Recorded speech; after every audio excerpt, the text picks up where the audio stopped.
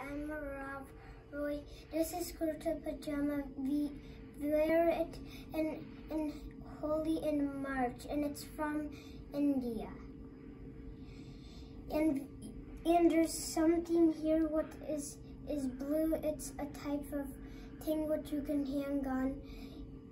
And it's it's it's about the um the the festivals called Holi and the color festival.